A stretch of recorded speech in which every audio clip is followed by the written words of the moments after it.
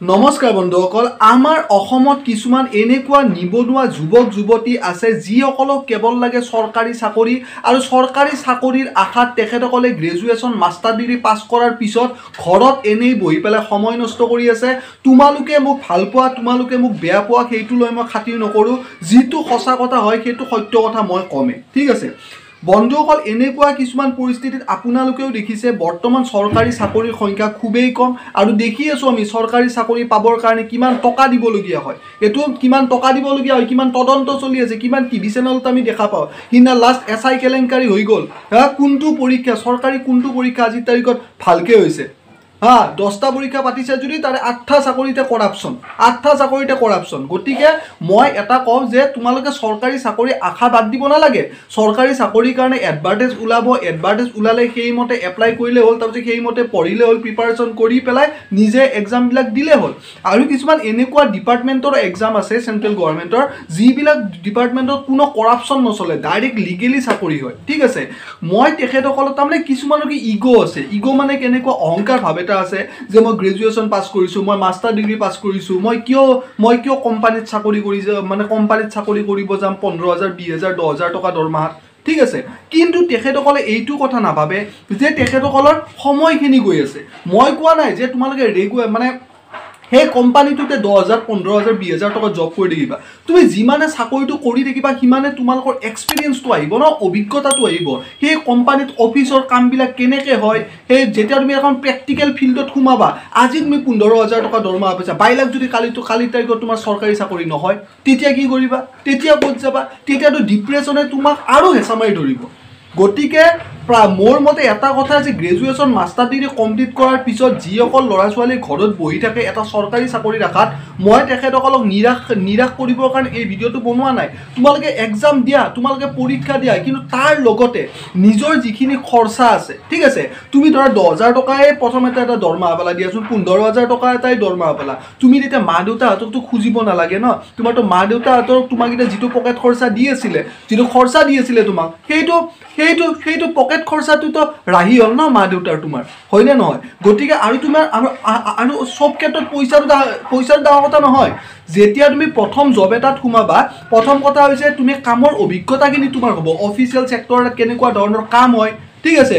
Office office related কামবিলাক কেনেকুৱা? কাৰণ প্ৰেক্টিকেল ৱৰ্ল্ড হয়। তুমিতো পঢ়ি শুনি গ্ৰেজুৱেট মাষ্টাৰ ডিগ্ৰী কমপ্লিট কৰিলা। কিন্তু অফিচ এটাত কাম কৰাৰ লগে লগে তুমি প্ৰেক্টিকেলি কাম কৰিব লাগিব। তোমাৰ এটা নলেজ হ'ল তাৰপিছত তোমাৰ নেক্সট কথা হৈছে তাৰ মাজতে তাৰ মাজতে অফিচ দহটাৰ পৰা পাঁচটা ছটা সাতটা যেতিয়ালৈকে অফিচ ডিউটি থাকি অফিচ ডিউটি কৰিলা। তাৰপিছত আহি পেলাই গভাৰ্ণমেণ্ট চাকৰিৰ কাৰণে চিলেবাছ লৈ পেলাই কি যিটো চাকৰিত এপ্লাই কৰিছা সেই চাকৰিটোৰ কাৰণে ধুনীয়া কৰি আহি পেলাই পঢ়া। তোমাৰ ইফালে পইচাও আহি থাকিলে কিবা এটা খৰচাৰ কাৰণে মা দেউতাক পইচাও খুজিব নালাগিলে আৰু চৰকাৰী চাকৰিৰ কাৰণে যিবিলাক কিতাপ পত্ৰ কিনিব লাগে সেইখিনিও তোমাৰ নিজৰ টকাৰ দ্বাৰা আহি গ'ল। হয়নে নহয়? সেইটোৰ কাৰণে তুমিতো কাৰো ওচৰত হাত পাতিব যাব নালাগে। কাৰণ মাহেকত তুমি দহ হাজাৰ পোন্ধৰ হাজাৰ বিছ হাজাৰ কিবা এটা হ'লেও দৰমহা পাবা। আৰু যদি তুমি তোমাৰ যদি ভৱিষ্যতলৈকে যদি চৰকাৰী চাকৰি নহয়ো তেতিয়াহ'লে কি হ'ব? এই যিটো অভিজ্ঞতা এই যিটো তুমি দহ হাজাৰ পোন্ধৰ হাজাৰ বিছ হাজাৰত কাম কৰিছা বাদ দিয়া। কিন্তু এই যে তুমি কামখিনি যে শিকিলা ভৱিষ্যতলৈকে যিবিলাক ডাঙৰ ডাঙৰ কোম্পানী আছে সেইবিলাকত ইণ্টাৰভিউ দিব গ'লে এটা বস্তু যাব তোমাৰ এক্সপিৰিয়েঞ্চ কিমান তোমাৰ অভিজ্ঞতা কিমান তোমাৰ ফিল্ডত তুমি যে কাম কৰিছা তুমি গ্ৰেজুৱেশ্যনত ফাৰ্ষ্ট ক্লাছে পাইছা নে ছেকেণ্ড ক্লাছে পাইছা নে মেটাৰ কিন্তু তোমাৰ কামৰ গ্ৰেজুৱেশ্যনৰ লগতে মাষ্টাৰ ডিগ্ৰীৰ লগতে তোমাৰ কামৰ অভিজ্ঞতা কি আছে সেইটো কোম্পানীত কাম কৰিব গ'লে সেইটো মূল্যায়ন কৰা যায়। গতিকে মই তেখেতসকলক আজিৰ এই ভিডিঅ'টোত লাজ দিছোঁ যোনে চৰকাৰী চাকৰি এটাৰ আশাত ঘৰত বহি পেলাই এনে সময় নষ্ট কৰি আছে আৰু বাপেক মায়েকে ইমান বোজা ল'লে গ্ৰেজুৱেট মাষ্টাৰ ডিগ্ৰীলৈকে পঢ়ালে তাৰ পিছতো বাপেক মায়েকক অলপমান বোজাটো পাতল কৰি দিব লাগে। কাৰণ বাপেক মায়েকে কিমান পঢ়াব আৰু এই এল পি স্কুল কমান প্ৰথমমানৰ পৰা গ্ৰেজুৱেট মাষ্টাৰ ডিগ্ৰী বাইছ বছৰ তেইছ বছৰ পঁচিছ বছৰলৈকে পঢ়োৱাৰ পিছত আৰু যদি চৰকাৰী চাকৰি ৰখাৰ কাৰণে যদি ঘৰত যদি এনেই সময় নষ্ট কৰি আছে তেতিয়াহ'লে মই ভাবোঁ এইটো নিশ্চয় মোৰ মতে ঠিক নহয় ঠিক ঠিক আছে মোৰ মতে ঠিক নহয়।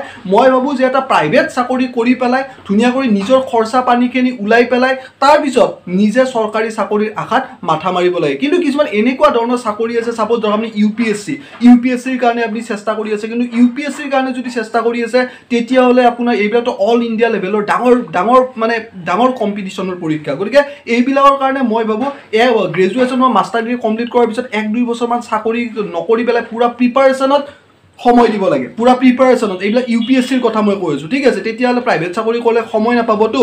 তেতিয়াহ'লে ইউ পি এছ চিৰ দৰে পৰীক্ষা দিব গ'লে তেতিয়াহ'লে আপুনি এক দুই বছৰৰ কাৰণে নিজে পূৰা পঢ়াত লাগিব পাৰে। কিন্তু বাকী যিবিলাক আমাৰ অসম চৰকাৰৰ চাকৰি আছে বা বাকী যিবিলাক থাৰ্ড গ্ৰেড পষ্টৰ যিবিলাক চাকৰি ওলায় এইবিলাকৰ কাৰণে মই ভাবোঁ নিজে এটা প্ৰাইভেট কোম্পানীত কাম কৰি নিজৰ এক্সপিৰিয়েঞ্চটো হ'ল। নিজে দৰমহাও পালে কিবা এটা মায়েক দেউতাককো খুজিব নালাগীয়া হ'ল। আৰু আপোনাৰ নেক্সট হৈছে নিজৰ যিখিনি ড্ৰেছ আপ থাকে কিবা থাকে নিজৰ ড্ৰেছ আপখিনি নিজে ল'ব পাৰে বা যদি এক পইচাও যদি ইনকাম নকৰে তেতিয়াহ'লে বাৰু কোনোবা লগৰ ল'ৰাৰ লগত ফুৰিবই গ'লা দিয়াচোন। তেতিয়াহ'লে চাহৰ পইচাটো যদি তোমাৰ লগৰ ল'ৰাটোৱে দিব লাগে বা চাহটো বাহিৰত খোৱাৰ কাৰণেও যদি তুমি দেউতা মাৰ পৰা পইচা খুজি নিব লাগে তাৰ কাৰণে লাজৰ কথা কি আছে ইয়াৰ? গতিকে মই ভাবোঁ যে এনেই ঘৰত বহি সময় নষ্ট নকৰি এটা চৰকাৰী চাকৰিৰ আশাত ধুনীয়াকৈ এটা প্ৰাইভেট জব কৰিব লাগে। ধুনীয়াকৈ এটা প্ৰাইভেট জব কৰিব লাগে নিজৰ খৰচাখিনি নিজে ওলাই পেলাই চৰকাৰী যি যি চাকৰি ওলাই আছে তাৰ কাৰণে এপ্লাই কৰিব লাগে আৰু যদি তাৰ কাৰণে যদি মানে কিছুমানকৈ সময় নাই সময় কিয় নাই? কাৰণ প্ৰাইভেট ডিউটিবিলাক ধৰা চাৰে নটা বা দহটা বজাৰ পৰা ষ্টাৰ্ট হ'ল। তেতিয়াহ'লে কি আজিকালি কিছুমান কোচিং চেণ্টাৰ এনেকুৱা আছে ৰাতিপুৱা ৰাতিপুৱা সাতটা বজাৰ পৰা কোচিং হয়। সাতটাৰ পৰা সাতটাৰ পৰা আঠটালৈকে কোচিং কৰিলে বা আঠটাৰ পৰা নটালৈকে কোচিং কৰিলে তাৰপিছত আহি পেলাই অফিচ ডিউটি কৰিলে। গতিকে সেইটোৱে কথা।